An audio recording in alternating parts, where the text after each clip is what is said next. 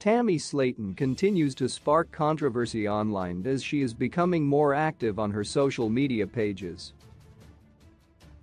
Recently, she posted a TikTok video that led fans to accuse her of not having her priorities in order while she is in rehab. Some critics believe she should be spending less time online and more time focusing on her health.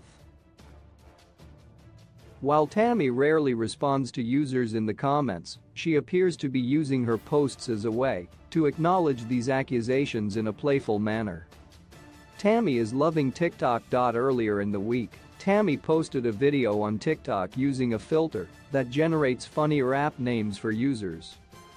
After she posted the video, showing herself laughing at the results, users quickly ran to her comments to share their thoughts.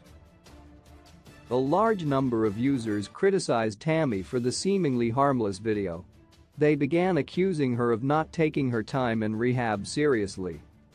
Some addressed the events that led up to her entering the facility, referencing moments that aired during season 3 of 1000 LB. Sisters.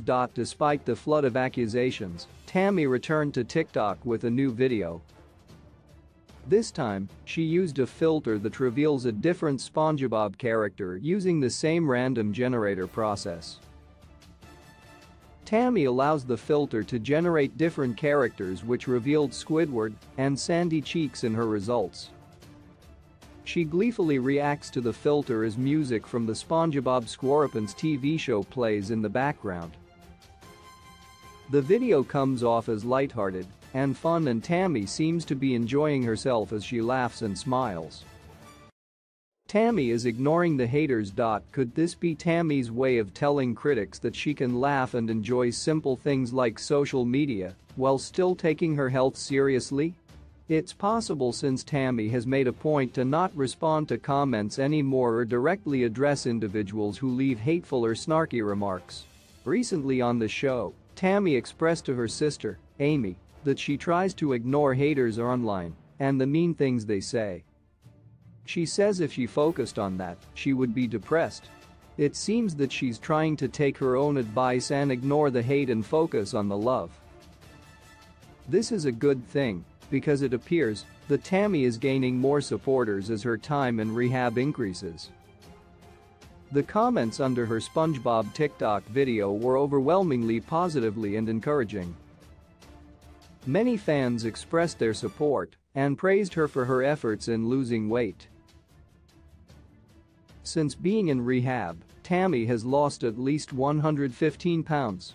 She has stated that she is committed to sticking it out and staying for up to a year to get the help she needs. She has the support of her family and her fan base, which undoubtedly is helpful for her during this time.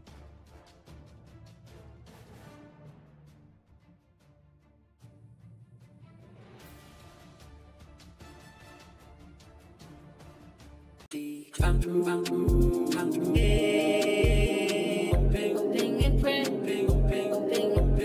hoping, and pray. Come through, come through, come through. Hey, hoping, hoping, and pray, hoping, hoping, hoping, hoping, and pray, hoping, and pray. Just to, just to, hoping, just to feel, hoping, and pray, hoping, and pray. Just to, just to, hoping, just to feel, hoping, and pray. Like this, like this, trick, like this, that way, that way.